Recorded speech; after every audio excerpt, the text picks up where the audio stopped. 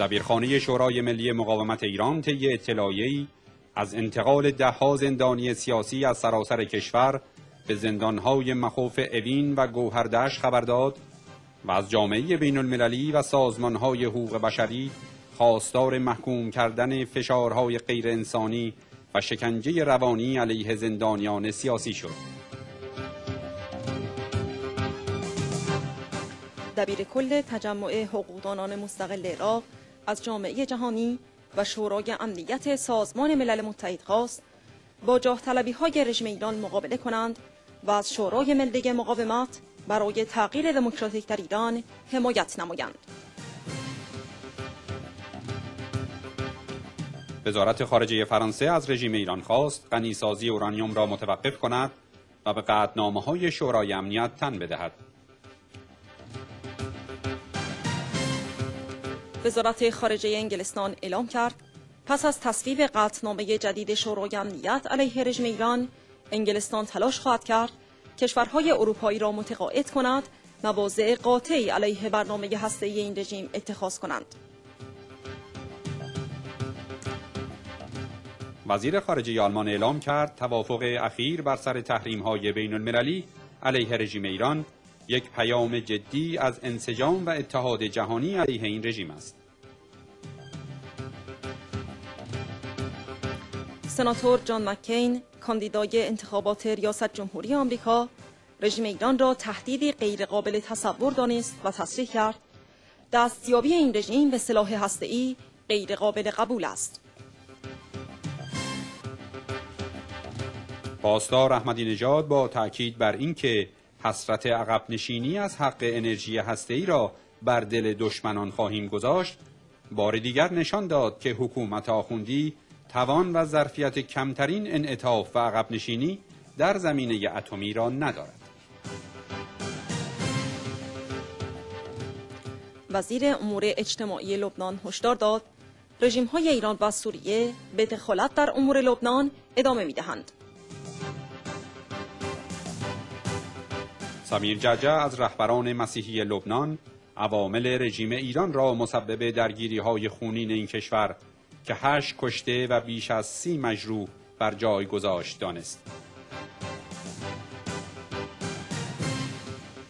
روزنامه تلگراف چاپ لندن نوشت رژیم ایران از بحران مرزی غزه برای افزایش دخالت‌های خود در خاورمیانه استفاده می کند. با شکستن دیوار مرز غزه نگرانی نسبت به ارسال سلاح قاچاق از سوی این رژیم به غزه افزایش یافته است. سفیر آمریکا در افغانستان اعلام کرد هیچ شکی وجود ندارد که رژیم ایران برای شبه نظامیان در این کشور سلاح ارسال می کند. برهم صالح معاون نخست وزیر عراق های رژیم ایران در عراق را باعث بی‌ثباتی این کشور و منطقه دانست و خواستار پایان دادن به این ها گردید. روزنامه لس آنجلس تایمز چاپ آمریکا نوشت نوری مالکی یک روز بدون حمایت نیروهای ائتلاف دوام نخواهد آورد. دولت وی که با کندی آزار دهنده ای حرکت می کند اگر به شاخص های تعیین شده نرسد رئیس جمهور آمریکا را ناگزیر خواهد کرد تصمیم دیگری در مورد او بگیرد.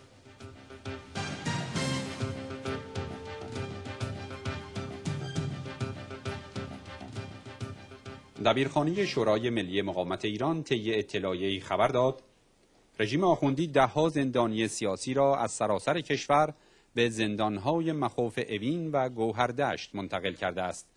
در این اطلاعی آمده است به قرار اطلاع رژیم پلید آخوندی به منظور افزایش فشار بر روی زندانیان سیاسی و اعمال شکنجه های جسمانی و روانی علیه این زندانیان آنها را به زندانهای مجرمان عادی و خطرناک منتقل می کند. طبق گزارش های دریافتی از داخل ایران 24 تن از زندانیان سیاسی از زندانهای نقده، چالوس، ارومیه و اوین اخیرا به زندان مخوف گوهردشت منتقل شدند. در این زندان از جمله قاتلان خطرناک و سارقین مسلح نگهداری می شوند. در همین حال روز 29 ژانویه 28 زندانی از زندان مخوف گوهردشت به زندان اوین منتقل شده که پنج تن از آنان روز سیوم ژانویه به پای چوبه دار رفتند. در حال حاضر جان زندانیان سیاسی در این زندان در معرض خطر می باشد.